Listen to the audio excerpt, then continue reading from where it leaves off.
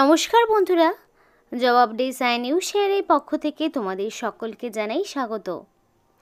তো আজকে আমি কথা বলব ইন্ডিয়ান রেলওয়ের পক্ষ থেকে বের হওয়া সম্পূর্ণ একটি নতুন নোটিফিকেশন নিয়ে প্রত্যেকের সাথে আলোচনা করব। যে নোটিফিকেশন তোমরা চাইলে এদের অফিসিয়াল ওয়েবসাইটেই পেয়ে যাবে। মানে ইন্ডিয়ান রেলওয়ের যে অফিসিয়াল ওয়েবসাইট রয়েছে, যেটা আমি বর্তমানে ওপেন করে রয়েছি, সেইখানেই তোমরা পেয়ে যাবে। এবং এখানে রাজ্যের বিভিন্ন ডিভিশনে তোমাদেরকে নিয়োগ করা হচ্ছে। এবং এই সমস্ত ডিভিশনে তোমরা প্রত্যেকটি জেলা থেকেই মানে তেইশ জেলার প্রত্যেকটি লোকেশন থেকেই ছেলে মেয়ে প্রত্যেকেই আবেদন জানাতে পারবে। সেটা যে কোনো ডিভিশনের হয়েই অ্যাপ্লিকেশন করতে পারবে। এবং এর জন্য তোমার যে শিক্ষাগত যোগ্যতা, সেটা কোনো পোস্টের ক্ষেত্রে মাধ্যমিক পাস আবার কোনো পোস্টের ক্ষেত্রে উচ্চ মাধ্যমিক পাস, আবার কিছু পোস্টের ক্ষেত্রে আইটিআইও রয়েছে। সবগুলোর ক্ষেত্রে যে আইটিআই লাগবে, তাও মানে সেই রকমও কোনো রকম ব্যাপার নেই। তো এই ভিডিওর মাধ্যমে এ টু জেড সম্পূর্ণ আলোচনা হবে। সম্পূর্ণ ভিডিওটি যদি তোমরা দেখো, তাহলে এ টু জেড সমস্ত তথ্য এই ভিডিওর মাধ্যমে জানতে পারবে। যে কীভাবে অ্যাপ্লিকেশান করতে হবে এবং পোস্ট সংক্রান্ত যাবতীয় ডিটেলস সবটা পেয়ে যাবে। যেখানে প্রচুর পারে প্রায় সাড়ে পাঁচ হাজার শূন্য পদে তোমাদেরকে নিয়োগ করানো হচ্ছে। বিরাট একটা ভ্যাকেন্সি রেলের পক্ষ থেকে জারি হয়েছে। তো চলো সেই বিষয়ে আলোচনা করব ডিটেলসে যেখানে প্রার্থীকে কোনো রকমের রিটেন টেস্ট দিতে হবে না। সরাসরি ডকুমেন্ট ভেরিফিকেশনের মাধ্যমে নিয়োগ করা হবে। কোনো রকম ইন্টারভিউ থাকছে না। ডিটেলসে যাওয়ার আগে প্রত্যেকের কাছে একটাই রিকোয়েস্ট জানাব যে যারা এখনও আমাদের এই চ্যানেলটিকে সাবস্ক্রাইব করো নি তারা ঝটপট চ্যানেলটিকে সাবস্ক্রাইব করে পাশে থাকা বেল আইকনটি ক্লিক করে দিও, যাতে করে পরবর্তী সমস্ত ইনফরমেশান পেয়ে যেতে পারো। তো চলো বন্ধুরা, দেরি না করে এবার অফিসিয়াল নোটিশ নিয়ে বিস্তারিত আলোচনা তোমাদের সাথেই শুরু করব। তো ফার্স্ট অফ অল তোমাদেরকে সেই ইম্পর্টেন্ট যে ডেটসগুলো রয়েছে সেগুলো জানাব। মানে date of publication of notification notification কবে পাবলিশ হয়েছে? এবং নোটিফিকেশান ওপেন কবে হচ্ছে? এবং ক্লোজিং ডেট কী রয়েছে সেটা আগে তোমাদেরকে জানাই শিডিউলটা বলি। তো এখানে তোমাদের ফোর্থ নভেম্বর থেকে অ্যাপ্লিকেশন শুরু হয়েছে, যেটা থার্ড ডিসেম্বর পর্যন্ত জারি থাকবে। তার মানে হাতে এখনও অনেকটাই সময় রয়েছে। নির্দিষ্ট সময়ের মধ্যে এদের অফিসিয়াল ওয়েবসাইটে গিয়ে অনলাইনে অ্যাপ্লিকেশন করে ফেলো।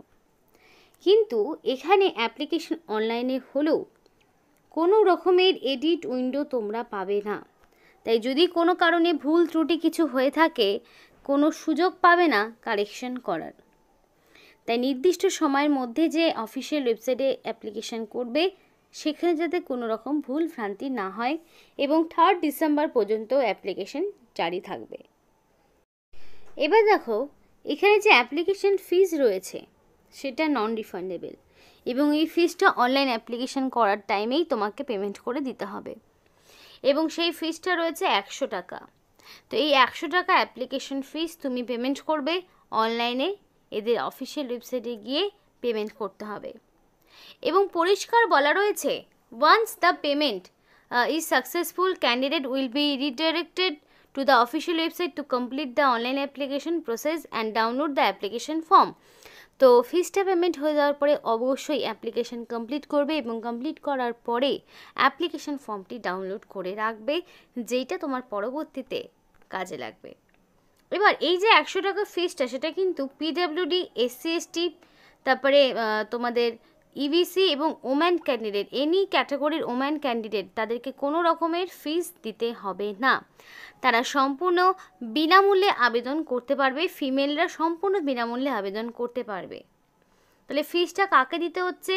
যারা জেনারেল এবং ওবিসি প্রার্থীর মধ্যে যারা মেল রয়েছে, তারাই শুধুমাত্র এই একশো টাকা ফিসটা পেমেন্ট করবে। বাকিদের কোনো রকম ফিস পেমেন্ট করতে হচ্ছে না। এবার তোমাদের যদি ক্যাটাগরি ওয়াইজ বয়সের ছাড় পেতে হয় বা তোমাদের অ্যাপ্লিকেশন ফিজে ছাড় পেতে হয়, তাহলে সেন্ট্রালাইজ যে তোমাদের সার্টিফিকেটগুলো হয়, সেগুলোকে ফিল আপ করতে হবে। যেমন ধরো, এটা হচ্ছে ইভিসি ইকোনমিক্যালি ব্যাকগ্রাউন্ড ক্লাসদের জন্য এই ফর্মটি ফিল আপ করতে হবে। তারপরে যেমন ধরো আরও রয়েছে, দেখাচ্ছি তোমাদের। এখানে যেমন তোমাদের পিডাব্লিউডি যদি ক্যান্ডিডেট হয়ে থাকো, তাহলে তারা এটা ফিল আপ করবে। এইভাবে কিন্তু প্রত্যেকটি ডিসেবিলিটি ফর্ম সার্টিফিকেট ফর্ম তারা এটা ফিল আপ করবে। তো এরকম সেন্ট্রালাইজ সার্টিফিকেট তোমার দিতে হবে। যদি তুমি ক্যাটাগরি ওয়াইজ ছাড় পেতে চাও, তো এগুলো প্রপারলি তোমাকে ফিল আপ করতে হবে। যেমন এটা ইডাব্লিউএস ইকোনমিক্যালি উইকার সেকশনদের জন্য এই ফর্মটিকে ফিল আপ করতে হবে। তো এটা তোমাদেরকে মাথায় রাখতে হবে। এই ফর্মটা যেমন ওবিসিদের মানে ওবিসি সার্টিফিকেটের ফরম্যাট ঠিক এইরকম হবে। ফার্স্টে তোমাদের নিজেদের নাম তারপরে সন অফ ডটার অফ তোমার বাবার নাম ভিলেজের নাম স্টেট ইউনিয়ন টেরিটরি কোন কমিউনিটি থেকে ডেট তো এগুলো সব তোমাদেরকে আলাদা করে ফিল করতে হবে। এবার অনলাইন অ্যাপ্লিকেশন করার সময় তোমাকে কি কি ডকুমেন্টস আপলোড করতে হবে সেটাও একবার দেখে নাও। তো অনলাইন অ্যাপ্লিকেশন করার টাইমে তোমাকে তোমার সিগনেচার অবশ্যই আপলোড করতে হবে। Soft copy of image of signature সেটা তোমাকে আপলোড করতে হচ্ছে এবং যে সমস্ত ডকুমেন্টসগুলো তুমি দেবে সেটা দেখে নাও। Marksheet and pass certificate of matriculation or its equivalent মানে মাধ্যমিক পাশের মার্কশিট এবং সেই সার্টিফিকেট তোমাকে আপলোড করতে হচ্ছে। তারপরে কি? উচ্চ মাধ্যমিক পাশের মার্কশিট এবং সার্টিফিকেট আপলোড করতে হবে। তারপরে কি? তোমার ডেট অফ বার্থের প্রুফ তুমি আপলোড করতে পারো, তার জন্য তুমি মাধ্যমিকের অ্যাডমিট দিতে পারো বা ডেট অফ বার্থ সার্টিফিকেটও দিতে পারো। এবার যেই পোস্টের ক্ষেত্রে আইটিআই লাগছে, তার জন্য আইটিআই এর সার্টিফিকেট আপলোড করতে হবে। তারপরে তোমার কাস্ট সার্টিফিকেট এসসি এসটি ওবিসির মধ্যে যদি তোমার কোনো কাজ থেকে থাকে, তাহলে সেই সার্টিফিকেট তারপরে যদি তুমি ইডাব্লিউএস ক্যাটাগরির মধ্যে বিলং করো, তাহলে সেই সার্টিফিকেট যদি তোমার কোনো রকম ডিসেবিলিটি থাকে, তাহলে সেই সার্টিফিকেট এগুলো তোমাকে আপলোড করতে হবে। যদি ইকোনমিক্যালি ব্যাকওয়ার্ড ক্লাসেসের মধ্যে বিলং করো, তাহলে সেই সার্টিফিকেট তো এগুলো তোমাকে অনলাইন অ্যাপ্লিকেশন করার সময় আপলোড করতে হবে। এবং দেখো, পরিষ্কার বলা রয়েছে সার্টিফিকেটটা হয় ইংলিশে থাকবে, নয় হিন্দিতে, তবেই অ্যাকসেপ্টেবল হবে। এবং যেই ডকুমেন্টসগুলো তুমি অনলাইনে অ্যাপ্লিকেশন করার সময় আপলোড করছ, সেগুলো আবার ডকুমেন্ট ভেরিফিকেশন পারপাসের সময় অরিজিনাল তোমাকে নিয়ে যেতে হবে। যদি তুমি অরিজিনাল সার্টিফিকেট না নিয়ে যাও, তাহলে কিন্তু কোনো রকমভাবেই তোমাকে সেইখানে অ্যালাউ করা হবে না। তাই অ্যাপ্লিকেশন করার সময় যা যা ডকুমেন্টস নিয়ে যাবে, সেগুলোই আবার ডকুমেন্ট ভেরিফিকেশনের সময় নিয়ে যাবে। কারণ এখানে তো তোমাদের কোনো রকম রিটেন টেস্ট বা ইন্টারভিউ হচ্ছে না। সরাসরি কোয়ালিফিকেশনের উপর বেস করে যে মেরিট লিস্ট তৈরি হবে, সেইখানে শর্ট লিস্টেড ক্যান্ডিডেটকে সরাসরি ডকুমেন্ট ভেরিফিকেশনের মাধ্যমে নিয়োগ করানো হবে। এবার এদের যে official website W W dot N F R Indian railway dot government dot in এই অফিসিয়াল ওয়েবসাইটে গিয়ে অ্যাপ্লিকেশন করবে এবং পরিষ্কার বলা রয়েছে যে এই candidate is allowed to submit one only one application মানে তুমি অনেকগুলো ট্রেড রয়েছে, অনেকগুলো পোস্ট রয়েছে, সেই সবগুলো পোস্টে একসাথে তুমি আবেদন করতে পারবে না। যে কোনো একটি পোস্টের জন্য তোমাকে অ্যাপ্লিকেশন করতে হবে। এবং পরিষ্কার বলা রয়েছে submission of more than one application summarily disqualify of disqualify the candidate তো একের বেশি যদি অ্যাপ্লিকেশন করো, তাহলে সম্পূর্ণভাবেই সেই প্রার্থীকে রিজেক্ট করে দেওয়া হবে। তাই যে কোনো একবারই অ্যাপ্লিকেশন করবে।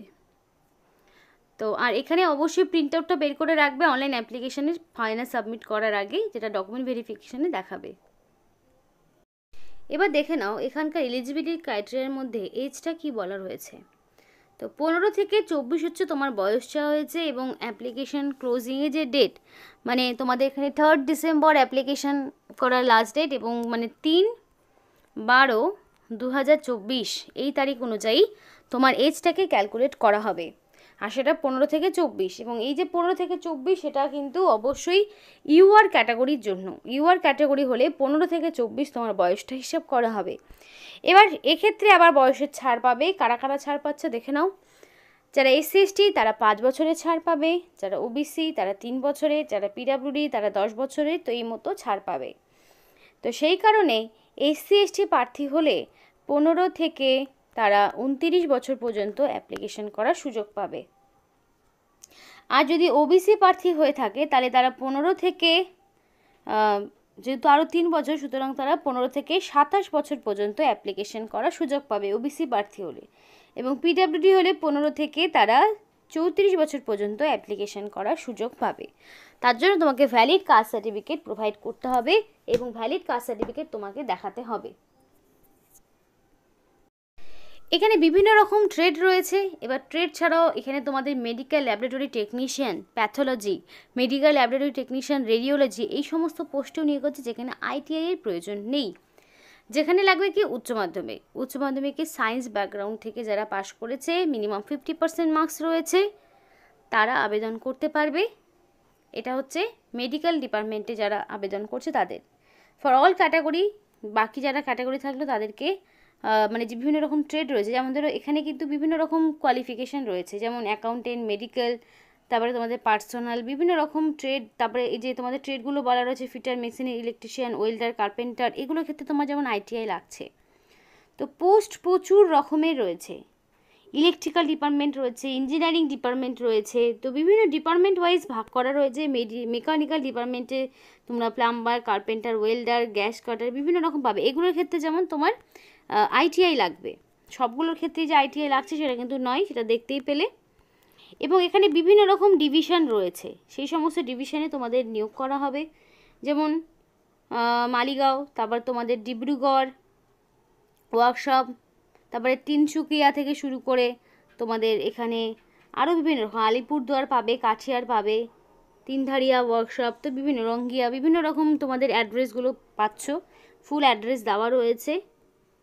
এবার মোড অফ সিলেকশন দেখো, তোমাদের এখানে তো ট্রেনিং করানো হবে মানে এক বছরের ট্রেনিং হবে রেলওয়ের এই পক্ষ থেকে।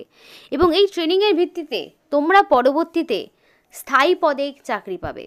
এবং এই যে অ্যাপ্রেন্টিসশিপের তো একটা বিরাট গুরুত্ব রয়েছে এবং ট্রেনিং চলাকালীন তোমরা সার্টিফিকেট পাবে এবং মানে তোমরা স্টাইপেন্ডও পাবে। আর এই ট্রেনিংগুলো কিন্তু একেবারে এড়িয়ে যেও না। এগুলোর জন্য তোমরা যেমন এক বছরের একটা অভিজ্ঞতাও গেইন করতে পারো তেমনই আবার তোমাদের এইটার ভিত্তিতে পরবর্তীতে রেলওয়ে যে বিভিন্ন রিক্রুটমেন্টগুলো হয়, তখন কিন্তু অ্যাপ্রেন্টিসশিপের সার্টিফিকেট থাকলে তোমরা সরাসরি নিযুক্ত হতে পারবে। এবং মোড অফ সিলেকশন সরাসরি মেরিটের ভিত্তিতে নিয়োগ হবে। তোমাদের কোয়ালিফিকেশান যা চাওয়া যায় তার উপরে মেরিট লিস্ট তৈরি হবে। এবং নিয়োগটি তোমাদের নর্থ ফ্রন্টিয়ার রেলওয়ের পক্ষ থেকে করা হচ্ছে। যেখানে অ্যাপ্লিকেশান করতে হলে অবশ্যই থার্ড ডিসেম্বরের মধ্যে কমপ্লিটলি অ্যাপ্লিকেশান করতে হবে। তো খুবই ভালো সুযোগ, প্রত্যেকেরই জন্য ভালো ইনফরমেশান সম্পূর্ণ ভিডিওটি যারা দেখলে, তারা সম্পূর্ণ নোটিফিকেশান সম্পর্কে জানতে পারলে।